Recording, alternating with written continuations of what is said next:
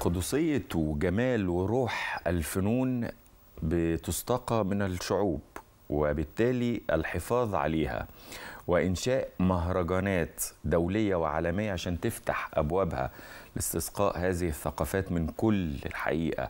دول العالم ده بدأته مصر من سنين سنين كتيرة جدا. إحنا عندنا مجموعة مهرجانات من أقدم المهرجانات على المستوى العالمي كمان مش المستوى العربي بس. وبالتالي هنا يدينا دلالة مهمة جدا وهي رسالة هذا الشعب المصري باستمتاعه بالفن واحترامه للفنون والثقافات وبالتالي أي حد بيخش هذا الوطن بيذوب داخل جدرانه ومفيش أبدا أي عوائق بتعوق مسيرته سواء بقى من أي جنسية في العالم. الأساس إيه؟ الفن. خلوني أرحب بضيف وضيف حضراتكم. برحب بالناقد الفني الأستاذ عصام زكريا رئيس مهرجان الإسماعيلي للأفلام التسجيلية والقصيرة. أنا كلمت صح؟ أهلا بيك. أهلا بيك. عصام بيه. ألف مبروك الدورة ال 25 وبنتكلم على اليوبيل الفضي وهذا المهرجان المتخصص من أوائل المهرجانات على المستوى العربي. لكن في مقدمتي دايما الشعب المصري منذ آلاف السنين وأجدادنا يعني مدينا مشهد طبعا. بديع بيجذب العالم كله. يعني اتفضل يا فندم طبعا زي ما حضرتك قلت يعني المصريين القدماء يعني هم أصل الفنون وأصل الثقافة وأصل الكتابة م. وحتى السينما م. يعني هتلاقي عندهم كده شرايط مرسومة نعم. يعني فكرة صحيح. فكرة تسجيل الحركة م. كانت في ذهنهم برضو م. فكانوا بيعملوها بالشكل اللي كان ممكن يتعمل وقتها انه يبقى في شريط مرسوم. بحركة العمال أو حركة الناس فأكيد يعني في الجينات ما بقى من الجينات يعني موجود. هذا الحب للفنون والثقافة مهما مهما حدث يعني مهما حدث من ظروف ومهما حدث من يعني أفكار دخيلة لكن الشعب المصري بطبيعته هو يعني محب للفنون ولل صحيح. وللبهجة. صحيح.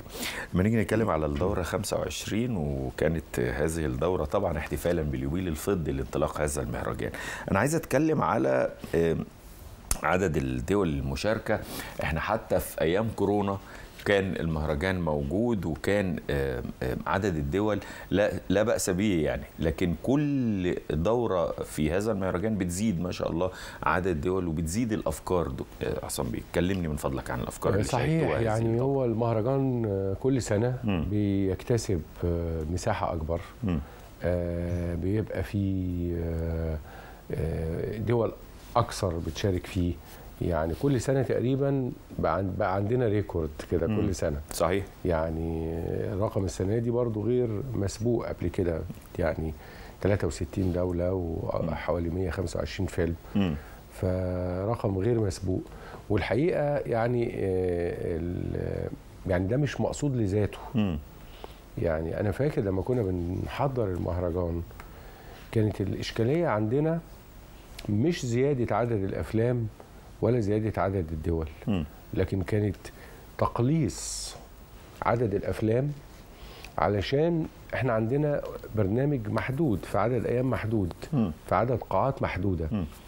ووقت لجان التحكيم محدود يعني إحنا سودنا حتى كان زمان في لجنة تحكيم واحدة بتحكم الأربع مسابقات دلوقتي بقى عندنا لجنتين. يعني فبقى الوقت مضاعف. لكن آه كمان وقتهم محدود. يعني ما يقدروش يتفرجوا أكتر من 8 ساعات في اليوم. صحيح. على مدار 3 4 أيام. وعدد الأفلام كبير. فعدد الأفلام كتير. فكانت الإشكالية عندنا إن إحنا نقلل بنحاول نقلل بقدر الإمكان. يعني عملنا فرز أول وفرز تاني وفرز تالت. آه لكن لغاية ما وصلنا لنقطة إنه خلاص بقى ما أقدرش أشيل تاني. آه. يعني صحيح. حرام مم. حرام الفيلم ده يتشال وحرام الفيلم ده يتشال.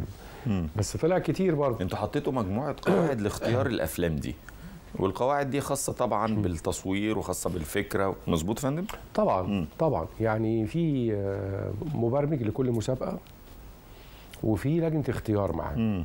لجنة مشاهدة مم. آه بيتشاوروا مع بعض وبيختاروا أفضل الأفلام مم. حسب رأي الأغلبية أو حسب يعني الإقناع يعني بنعمل الفرز أول تصفية أولية لكل الأفلام المرشحة إن هي تشارك في المسابقة. كويس. بعدين بنبتدي آه، هنا المعيار الجودة بس فقط. مم. بعدين بنبتدي نختار برضو الأفضل مم. بمعيار الجودة الفنية. بعد كده بتيجي في المرحلة الثالثة إن إحنا بقى نشوف لازم يبقى في تمثيل قاري يعني لازم يبقى في إفريقيا وآسيا وأمريكا اللاتينية. طبعا. مهرجان دولي. مهرجان دولي. مم. لازم يبقى كل القارات ممثلة فيه.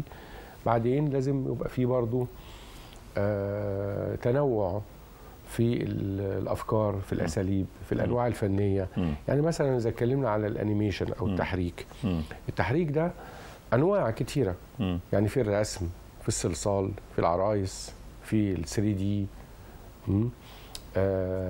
ففي أنواع كثيرة من الايه التحريك نفسه صحيح فما ينفعش إن أنا آخد نوع واحد مم. لازم برضو أراعي إنه يبقى كل ال- الانواع الأنواع التحريك موجودة. آه أو أو طبعاً. عدد أكبر عدد ممكن طبعا من الأنواع يبقى موجود أكتر فكرة لفتت وشدت انتباه حضرتك وانتباه اللجنة وكانت فكرة مؤثرة آه، في الأفلام التسجيلية أو الأفلام القصيرة آه لا في حاجات كتيرة والله مم. في حاجات كتير يعني آه آه في ال animation مثلا ال animation كان بالذات يعني الناس آه كانت آه. بتشيد بيه. وحتى وإحنا هناك في الإسماعيلية. يعني كان في أربع أفلام أو خمسة من اللي إحنا اخترناهم أعلن إن هم يشاركوا في المسابقة الرسمية لمهرجان شتوتجارت اللي هو واحد من أهم افلام مهرجانات ال animation في العالم يعني مم. بعد ما شاركوا عندنا يعني في في التسجيلي في حاجات آه، شيقة جدا يعني كان في فيلمين مصريين آه، موضوعهم آه، شيق جدا مم. آه، وكان في فيلم سويسري بنم من بنمي من. بنما. وإنتاج مشترك يعني اللي هو خد جائزة الفبريسي برضه فكرته كانت مميزة جدا مم. يعني حاجات كتير طبعا أنتوا عملتوا حاجات جديدة جدا ال- الدورة دي أهم إبداعات المهرجان مسابقة أفلام الطلبة ودي مسابقة أنا بشوف إن هي مهمة جدا. إحنا بنشوف طبعا وحضرتك أكيد بتشرف على يعني رسائل التخرج في سواء في معهد سينما أو في كليات الإعلام. بنشوف يعني منتج أنا بشوف إنه بيبقى جيد جدا من أبنائنا الطلبة. كلمني من فضلك المسابقة. صحيح. يعني إحنا أضفنا مسابقة الطلبة من عدة سنوات لكن كل سنة هي بتزيد برضه. لأنه آه، زمان ما كانش في غير معهد السينما بس ولا بيدرس. صحيح. سينما. واللي. ما اتخرجش من معهد السينما ما اشتغلش في السينما. آه. آه يعني ويزعل. بقى ويحبط ويروح يشوف شغلانة تانية. أيوه الكلام ده ما بقاش موجود. مم. بقى في أماكن كتيرة بتدرس سينما. كمان كل كل ال- الجامعات في العالم ابتدت تدرك أهمية السينما. وأهمية السينما في التخصص اللي هم بيشتغلوا فيه يعني مم. مثلا في علم النفس مم. عندهم دراسات سينمائية مم. يعني إيه- إزاي السينما بتقدم علم النفس أو إزاي نحلل الأفلام تحليل. نفسي مم. طيب قسم الاجتماع. نفس الشيء مم. عندهم قسم سينما أو دراسات سينمائية متعلقة بالاجتماع إزاي السينما بتدرس المجتمع مم. وإزاي إن إحنا نقدر ندرس المجتمع من خلال السينما قسم الفلسفة قسم التاريخ كل ال ال أقسام ال العلوم الإنسانية. كليات العلوم الإنسانية بقت بتدرس صناعة أفلام. أو بتدرس دراسات سينمائية. كمان بقى في كليات الإعلام مثلا الكمبيوتر والجرافيك يعني بقى في قسم لتع... لتعليم صناعة الأفلام في كل. جامعات مصر تقريبا الجامعات الخاصة. والحكومية يعني حضرتك عايز تقول إنه مشاريع الجانب كتير. الفني المشاريع بقت كتير. بقى موجود ومدمج في كل العمليات التعليمية. بالظبط. وده مهم. بقى عندنا كل سنة عدد أكبر من الجامعات بيشارك. آه. يعني يمكن أول سنة كانوا مثلا خمسة ستة. مم. أعتقد السنة اللي فاتت دي كان في حوالي 25 مم. جامعة ومدرسه في مصر. ومدارس مدارس كمان سينما آه. مدارس خاصة مم. وجامعات. آه، بتعمل مشاريع. آه. ف...